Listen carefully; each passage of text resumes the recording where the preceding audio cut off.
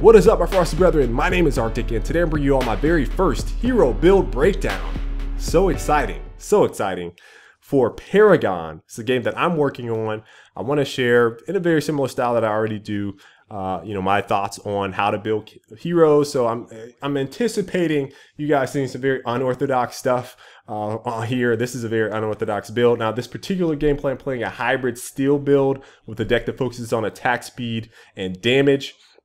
So it's more of a bruiser build than a tank build, uh, especially early in the game. I'm focusing on those things. And then it rounds out mid to late game with defense and cooldown reduction cards. Now, the primary focus of the build is to disrupt and harass the high damage dealing heroes like Twin Blast or Sparrow or Murdock uh, early during the laning phase and the cooldown reduction and defense add some uh, meat to your abilities. Defense makes you a little bit more survivable. Steel is already uh, one of the most durable heroes in the game.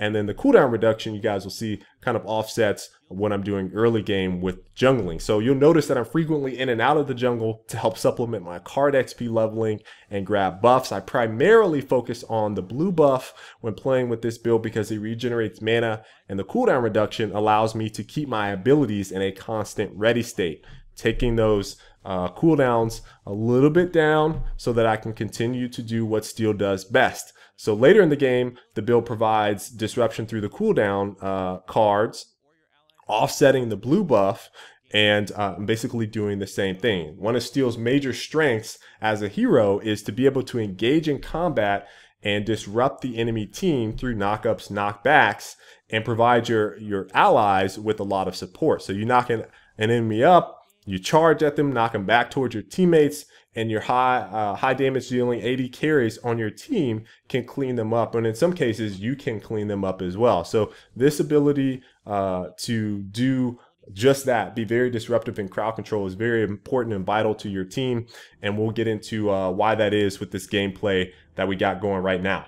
So immediately, the first thing that I do is check the enemy team's uh, team composition. We got a Rampage, Murdock, Twin Blast, Muriel, and a Gideon, I'm actually going to, uh, when I go defense, uh, I'm going to scale for physical damage. So I'm going to choose the Tempered Plate here later in the game, uh, specifically for the Rampage and the Twin Blast. Uh, and right off the bat, you guys see I choose a Harvester Key, which is used to plant wells and the, uh, or harvesters for jungling and I grab a health potion because I'm going to be primarily jungling uh, during this game. So uh, within the first three minutes or so, you're not going to see me doing a lot of laning. If there was a big team fight or I saw something was happening around mid lane, I might hop in and, and help fight. But uh, I'm going to be pretty much MIA for action. I'm going to be planning harvesters and uh, uh, basically getting these jungle camps for the first three minutes or so of the game. So I take the first camp that's near mid, uh, and the reason I position myself right there is in case middle lane needs help, I can run over there right away because there's steps that lead up to it. And uh, then I fall back towards this uh, spot, this jungle camp that's kind of sitting right in the middle. And then I'm to double back towards mid lane in case I need to help out in mid uh, and uh, the reason being, I don't really need to help right lane at all because there's two players over there. Uh, and so I focus really on the mid lane pushing towards that side. So it's it's three minutes. We jumped ahead a little bit. I planted my harvester with that harvester key. Now, if you have a key, it's very important. If you have a key, it will plant a well in five seconds. Five seconds. If you do not have a key, let me say that again. If you do not have a key, it will take about 30 seconds to plant a well. So I used my first charge on that other well, and then I immediately ran over to the other side, uh, the rep buff side, jungle, and now I'm planting a well. You can see it's taking substantially longer to plant that harvester uh, right now. And, uh, and that's just because you have to go back to base in order to recharge your harvester key and then come back. Now, some uh, uh, cards have the ability to have multiple charges, so it keeps you in the jungle longer. So that's something to think about if you are interested in jungling and happen to get one of those cards. So we got a kill from BP Clutch over there. Him and his teammate BP, I think, Fail or something like that is the other guy. Rampage uh, uh, Grux combination, which is pretty fantastic. So you guys can see I'm taking this jungle camp here, getting myself some more card experience points before I engage on this Murdock who's pushed up quite far. And uh, you guys are going to see my Twin Blast is there. I don't think he was quite ready. I probably should have called it out a little bit uh, harder there. typed in chat before I, I pushed this. So you guys are going to see I'm going to use my charge, knock the, the Murdock towards the Twin Blast, and you guys see he set up his shield. He's actually blocking the, uh, the Twin Blast there, and then he knocked me away. But I'm going to immediately uh, uh, engage in my travel mode so I can push around on this uh, backside. And he got his, but I cut him off, those pursuit angles, and I tried so hard there to do another charge that would have knocked him into the jungle. If I would have gotten that charge off and knocked him into the jungle, literally centimeters away from knocking him into the jungle, it would have been lights out for that Murdock. And uh, we would be sitting at probably four card experience points right now. So I was a little disappointed with uh, that particular play because I thought it was going to be a great setup. We were going to get the kill there, and I would be sitting at about uh, four uh, unspent points, and I would have been pushing towards uh, getting seven. But instead, I only have four right now, and I have to do some more collecting from those wells uh, that we planted just a bit ago. So I'm going to collect here, and then I'm going to head back over to uh, the blue side camps, and uh, we're going to collect from the harvester that I set up for um, at about the three minute mark. And then we're going to head back to uh, base and we're gonna spend those points on some of those damage cards that I talked about earlier. So, um, and the specific card that we're going to be purchasing is uh, Windcarver Blade, which uh, has physical damage and attack speed. That means I can only plant and only place upgrade slots for physical damage and attack speed cards. So it's major kinetic, major strike, and kinetic. It equates to an eight point upgrade uh, slot total. So there was three points on the major kinetic, three points on the major strike, and two points on the kinetic. So you'll need eight unspent card points in order to go back and fully upgrade that card. So now you guys see I was jungling a little bit. We skipped ahead a little and I alted in on those two, that Muriel and the Gideon. Tried to throw a force shield so I could trap the Gideon in. Uh, the Muriel was taken out by our Sparrow, who immediately activated her ultimate when I came in for the gank. They ended up saying thanks for the gank there. Uh, so that was a great setup for the Sparrow. Again, Steel so good at uh, supporting the carries of the game with his disruption and harassment of enemy players. We were able to push out that tower once we got that double, and uh, now I am back heading over towards this Murdock who is pushing our lane. He ends up taking out the tower, but we are going to get him. He's pushing up pretty hard, trying to get this Twin Blast. I get a charge attack off. The Twin Blast is activated his ult. I end up getting the kill. Just too much damage for him to handle. And then we push out the left lane. So this happened very, very quickly. We got the ultimate gank in mid lane. then we got another gank on left lane or bottom lane and uh, it has me at 10 card points. Remember, I, I said I needed eight card points in order to uh, fully upgrade that card, which I did when I went back. And now we're back in the jungle uh, once again, uh, farming that card experience points. And uh, we're getting set up for another big ultimate here. Third gank. This is happens all relatively quickly. I know we're doing a little bit of jumping around. We got the Twin Blast there. Uh, we were able to take him out. See, Sparrow, again, comboed my ultimate, which stunned and knocked up three of their players there with uh, her ultimate, and she was able to take out the Twin Blast. Again, can't iterate enough on how important uh, the ganking are if you're going a hybrid build with Steel being super disruptive uh, on the enemy team. So I threw up a force shield, then pushed this Gideon, and we're going to pursue this because he is very, very hurt.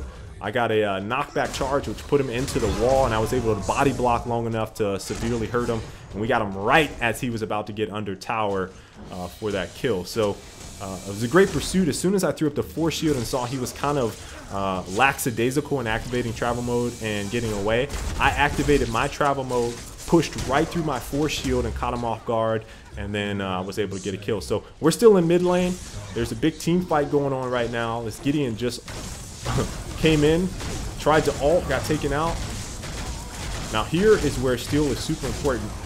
Twin Blast activated this ult on our Sparrow. I heard it, And instead of engaging with the Gideon, who had his ultimate, I ran towards the Twin Blast and activated my charge. Now, what's important about Steel is that because he has his ultimate and a charge ability, he is essentially the anti-Twin Blast. Twin Blast can be knocked out of his ultimate with a charge or a knockup which uh, Steel has two. So you have basically two opportunities when you hear Twin Blast activate his ultimate to knock him out, which he completely nullifies uh, Twin Blast, who's one of the strongest characters uh, uh, when it comes to carries in the game with his abilities. So we are now scaling defense. I saw that Twin Blast wants to activate his ult. And again, the reason I did this is specifically for Twin Blast. So I have greater guard in there, uh, guard and health. Uh, so I'm going to be physically resisting uh, the damage, which Twin Blast is a physical damage hero. So uh, again, specifically catering towards Twin Blast with this steel build uh, because I don't want him to blow up me and my teammates when I'm trying to disrupt him. So we got a big push here in mid. guys will see I'm going to alt in. We end up getting three there. And I'm going to knock the uh, Twin Blast towards our tower. He was able to dodge out of that, though.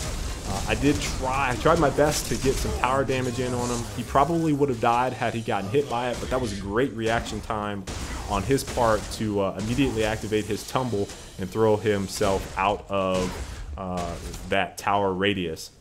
But that's one of the great things about um, you know, Steel in general. I called out that I was going on Murdock in this particular clip, so I alted in on Murdock, knocked him up, charged him out of the Muriel uh, save there. Muriel is able to grant shields with her ultimate. She was targeting uh, what looked like Murdock, and I knocked her out uh, of being able to grant shields on him, uh, and uh, he didn't get any of that bonus, so we were able to take him out.